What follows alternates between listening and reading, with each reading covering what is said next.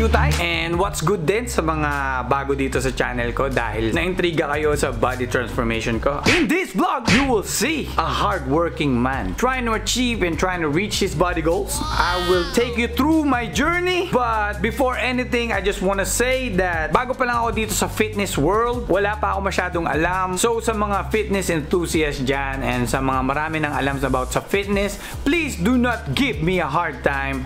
I'm still learning and I just want to have a good body. It's not about being perfect, it's about hard work. I just want to let you guys know that. So di ko na patatagalin to. Alam nyo na ang susunod dito. Welcome to my journey and to that motherfucking intro! Wow! Jish, I'm low key like the Mo jig, jig, jig. Jish, I'm low key like the Mo jig, jig, jig. Jish, I'm low key like the Mo jig, jig. This was me. I bet you were wondering how I got this fat. Actually, ako din. Hindi ko na namalayan na napapabayaan ko na pala yung sarili ko. Siguro ito na yung kabayaran sa pagiging busy ko noong 2018. As a member of the rap group X Battalion, halos araw-araw may gig kami Meaning, kain, tulog, gig, then after gig, kain ulit, then repeat. So yeah, we are. Right. This is the Munchie Burger. Let's do this. Two burgers in one. This is my wife. This is me. Uulitin ko. This is my wife. Sexy. This is me. Fat. Look at her. Now look at me. Again, look at her. Now look at me. I have used her as my inspiration and to fuel my motivation. Welcome to my journey.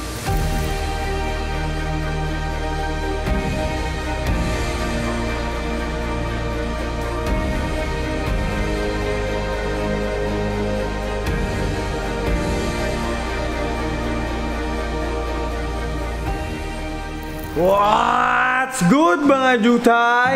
Today, imimit ko yung bago kong fitness coach. Pupunta siya dito sa bahay. Magmimit kami about sa project body transformation. Coach! Pasok! Pasok lang, sige lang. Darag bro. Si Coach. Pagmimitingan muna namin ang anong gagawin para pumayat ako. Di ko na-realize how hard it is to work out and how hard it is to diet until na-try ko siya. But fortunately, sobrang tiyaga sa akin ng coach ko at medyo pinadali niya sa akin ipaintindi kung paano ma-achieve yung body goals na gusto ko. Set ko lang expectations mo bro. Ano to? Hindi mo siya basta-basta makukuha kung hindi mo siya gagawing lifestyle. Kung nasa isip mo lang na tatry mo siya tapos pagdating mo doon, titigil ka na, hindi siya ganun nag-work bro. Kailangan mo siyang buhayin talaga para talaga ma-maintain mo. Kasi ibang challenge pa yung pag-maintain dun. Ah. Ibang challenge din yun. Iba rin i-conquer mo dun. Pag nandun ka na, iba na naman panibagong challenge na naman siya. So, sineset ko lang expectations mo bro. Mahirap talaga siya. Pero, papadaliin ko sa'yo. Yun ang gagawin natin. bro. Actually, sobrang hirap niya. I was this close to giving up. Sobrang dami ko ding na-face na challenges in the middle of my journey.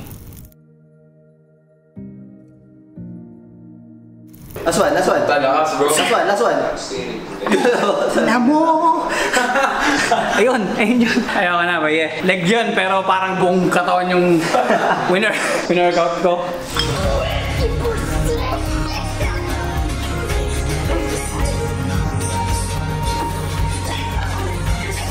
Coach, nagmo one month na. Gusto ko yan. Watch out! Meron pa rin akong ganito. Ah! Kita niyan? Dati, medyo di, di, di naman ganun, pero... Ayan. Tinatawanan ko lang ngayon. Tatawanan ko lang yan. Sana, sana.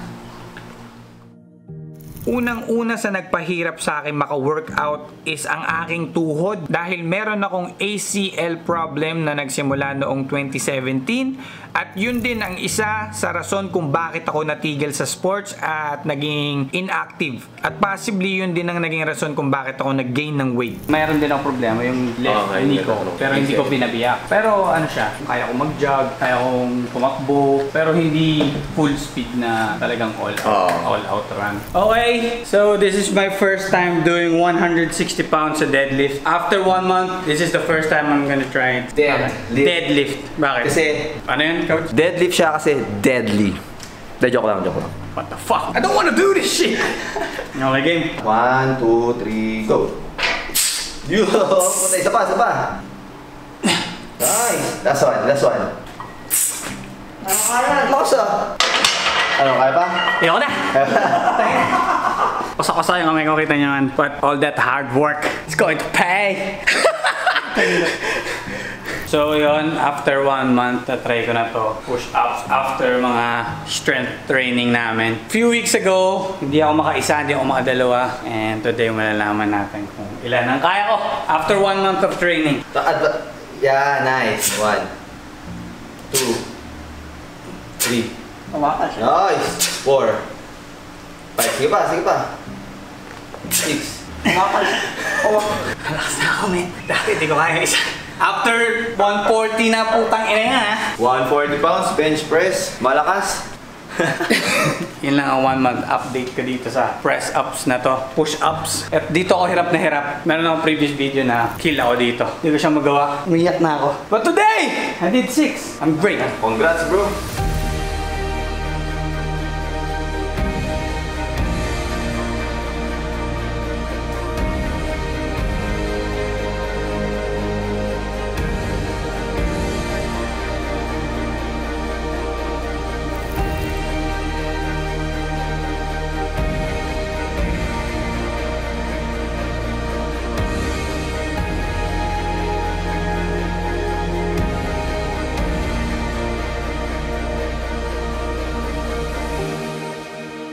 Last day ng workout. Long way from what I want. But sabi nila may progress. Ako hindi ko napapansin kasi araw-araw ko nakikita sarili ko. Araw-araw ko tinitingnan sarili ko sa salamin. So I cannot see the progress and hindi ko rin nakikita yung changes sa katawan ko. Although, pag sinasabi nila sa akin na you look this, you look that, dumidiretso sa utak ko na oh, I, think I need to work harder because it's good na makarinig ka ng positive shit sa ginagawa mo. So yeah, let's go. Lambot, putang ina. Wala, I'm tired man, I'm tired.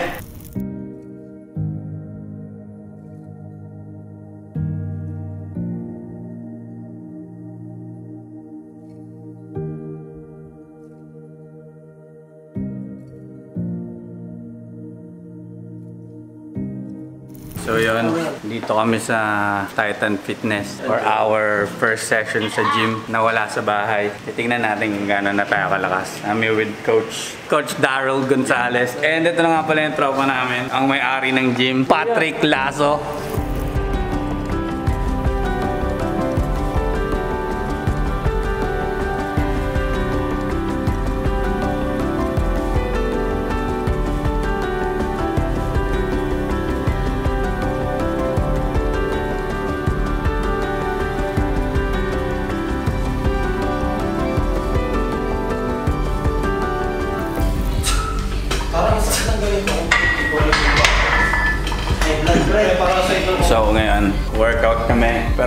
Coach. Ayun siya. Ayun siya. Pero walang mga skip days. Hindi kami pwede mag-skip. So kahit wala si coach, working out. And then, nalipat na nga pala namin yung gym dito sa taas. And mga boys are working out with me. And ayan si coach. Yan. Let's go, let's go. Isa to sa mga struggles, but fuck struggles! Let's work out! Isa pa sa nagpahirap magbigay ng oras sa workout is ang aming bagong open na business which is Gym Spares and the Hot Mommy. Sobrang dami ring oras kasi ang ginugol namin doon para maging smooth ang run niya. And fortunately now, naayos namin at meron na kaming 26 branches all over the Philippines. And on top of working out, I have to make music, I have to create vlog contents, and pinakamahirap na naging challenge sa akin is yung napalayo ako sa workout environment ko nang dahil kailangan kong pumasok sa lock-in taping ng GMA which is yung Oh My Love. Yo, so yon first day ko dito sa teleserye Lockdown Bubble and as you can see, basa ako ng pawis. I'm sweaty as fuck cause kahit nandito na ako sa loob ng teleserye, I needed to work out. Kailangan kong habulin yung target day namin ni coach and as I have promised myself and as I have promised coach, kahit nandito na ako, I will still work out. Ayan, para makita nyo, dinala ko yung basic. These are bands And dala ko yung bike, yung stationary bike ko. It's a lot harder na mag-workout na wala si coach dito sa harap ko. But I'm trying my best to lose all these weight before the target date. Um, in-update ko lang kayo na dahil na, medyo nag-iba yung scenario namin and medyo nag-iba yung workout routines dahil nandito na ako, hindi na ako makapagbuhat ng mga mabibigat and stuff. But yeah, I'm still working out. Hindi to pwede maging hadlang para ma-reach ko yung target ko and yung goal ko. So, I'm still working towards my goal and yeah, hopefully in a few weeks, I'll lose all these fats and let's go!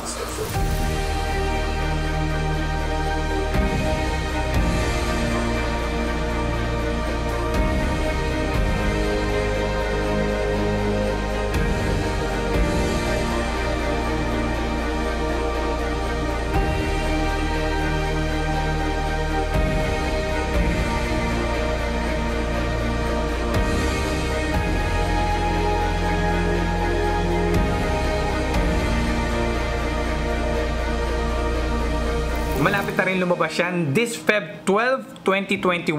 Abangan nyo, nandyan ako as Eddie. But luckily, I did not let any of that problem and challenges stop me from what I want for myself and what I want to achieve.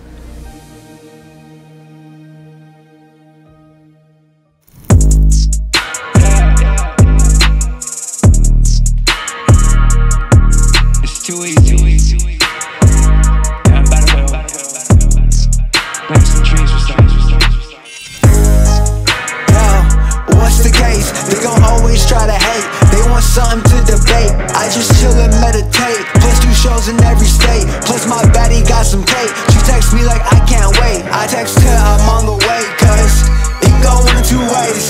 You can say E for the blow, take that to the grave.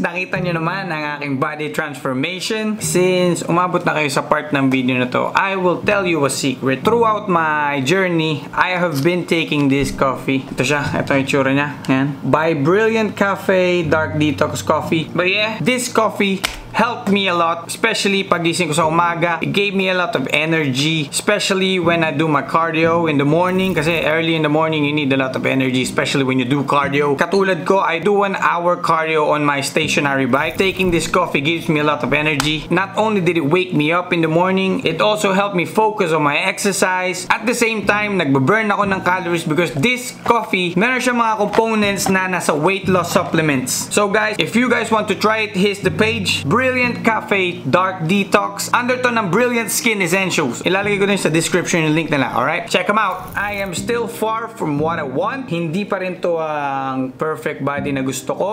I still want to be better sa fitness and gusto ko pa rin magka six pack kasi hindi ko siya na-achieve. But I am far from where I started which is a good thing. Bear in mind, I only did that in 5 months. So possible kung ma-achieve if I do it for a year or 12 months. Actually, yung program namin, it was meant to be 6 months. But dahil nga pumasok ako sa lock-in taping, hindi ako nakafocus masyado sa workout dahil minsan gabi ako nakakauwi and minsan umaga ako nakakalis. Meaning, hindi ako makapag-workout. I do not have the time to work out dahil sa sobrang busy na mag-taping. So far, this is one of the hardest vlog I ever have to pull off.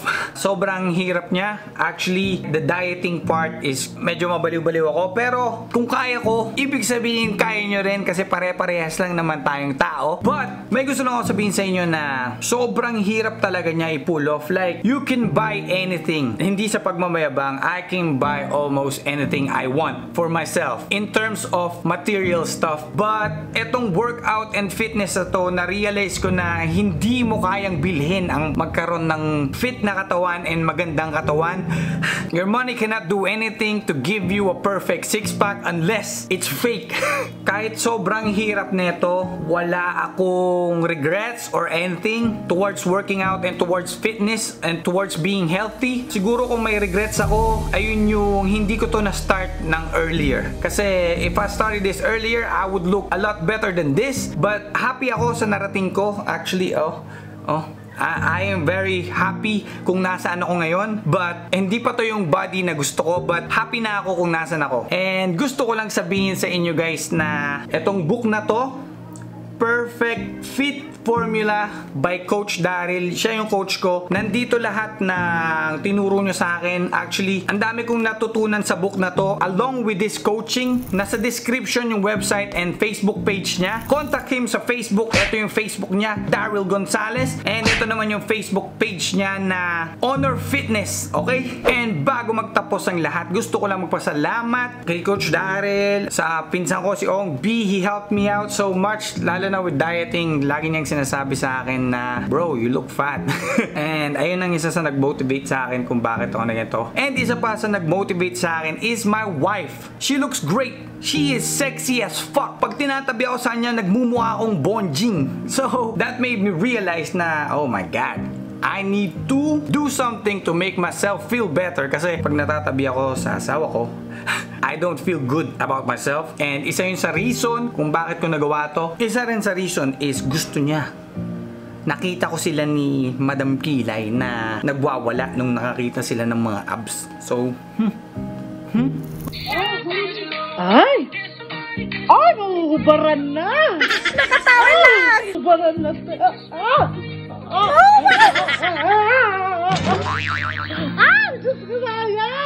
Gusto ko rin magpasalamat kay God dahil hindi mo ako pinabayaan throughout my journey. Lalo na sa dieting. Oh my God, nakakabaliw ang diet. Itong fitness na to nagpa-realize sa akin na anything is possible if you put your heart and your mind into it. Kung kaya ko, is kaya nyo rin guys. Isa pa, having the right coach would make your journey a lot easier dahil may nagtuturo sa'yo. Kasi kung ako lang to, matagal na ako nag-give up. But I have good people around me to motivate me enough to work hard and to go for my goals. Sana marami kayong natutunan sa akin. Lalagay ko sa description din yung link ng book. If you want him to coach you or to online coach you or to teach you one-on-one, nandun sa link na ilalagay ko sa description. Contact Coach Daryl Gonzalez. Masyadong mabait, matyaga. Wala akong masabi. He helped me. Like, hindi ko mararating to kung wala siya. Siya si Coach, nahanap ko lang yan dahil kay Raf Davis. Si Raf Davis, I wanna thank Raf Davis as well dahil minomotivate din ako niyan ni Neneng B.